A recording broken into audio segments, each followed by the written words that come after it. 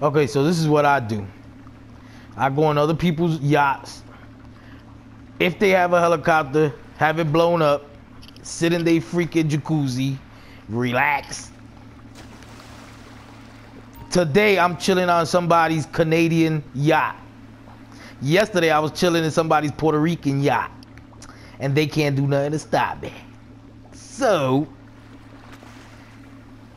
this is how we live. Brought to you by the red, the black, and the green with the key, sissy.